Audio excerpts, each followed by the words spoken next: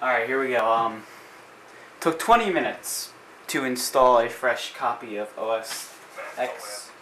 Whoa. It speaks. Um, it's pretty crazy. Let's mute that. But um, took 20 minutes to install a fresh copy of Snow Leopard. Pretty snazzy compared to the two hours it took for my laptop to install it.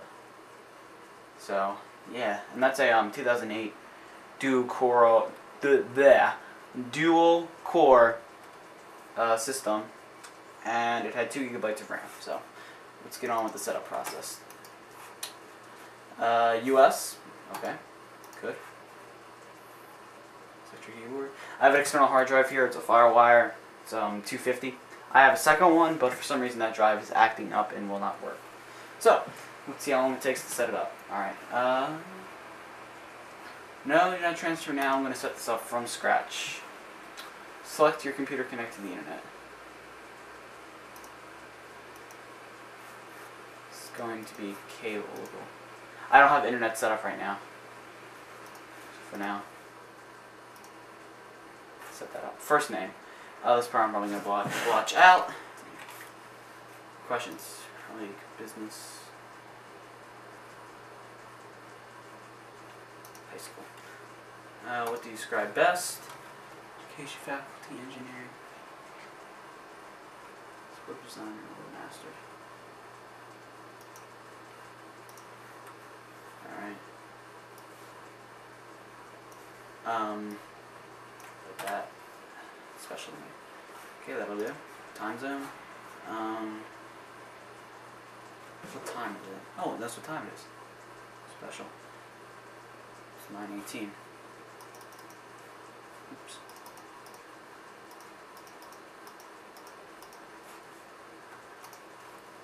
Okay.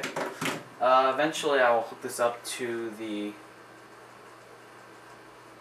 Yeah, it's saying right now I have to set up the internet, which I will do. I don't... Mm, I'm going to do that right after this, because I have this... Let me go get it. If I still have it over here. It is a still works. I used this on my old system before I got a wireless card.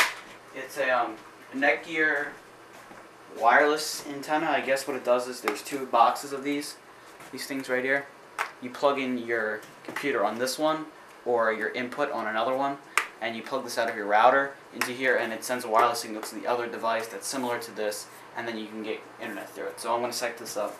It's, I don't have a, um, since we did the renovations on my house, we haven't set up the internet and this room doesn't have any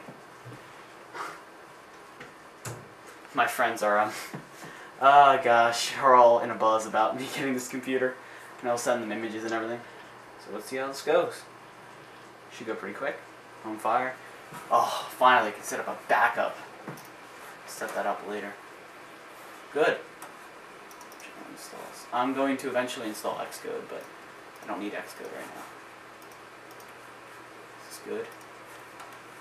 Um, see if everything's running okay. Uh, looks good. I mean, Xcode I love, so start up this. I'm gonna make sure it's set to yep. Wondering. Oh yes, I have to do that. I remember this. Oops. Unfortunately, the person I got this from didn't include any uh, built-in apps, so I'm going to have to download all the apps I want off the App Store when I eventually get internet connection. So one of my plans is to do that. And this monitor, of course, is temporary, as I said before. And if I didn't, I said it now. Uh, oh, there it is. Hard disks. That's what I want. I want to show my hard drives.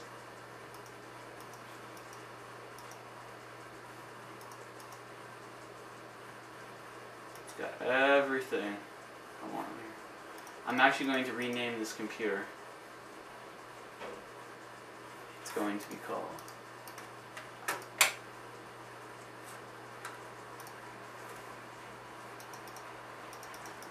I might have to restart the computer.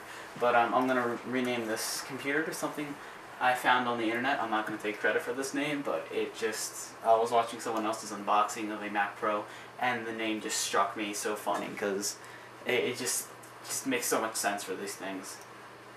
How do you change the name of the computer? That's what I want to know. I'm not new to the Mac OS. I know my way around it pretty well, but when it comes to little things like changing names, I've never done before because I've always bought used a system that's currently in use. I've never set up a Mac. Like this is my first time setting up my own Mac. Um, oh, in fact, I can inject that CD. There. One of the benefits of this computer is it comes with two CD slots. Came with the person who shipped it, company Gazelle. Said before, good company it seems like.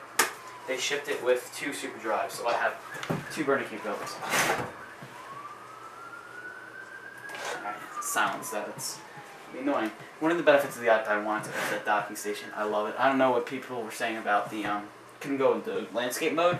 I never use landscape mode. I love the portrait. It works perfectly for me. So uh, I'll be back when I have finished this.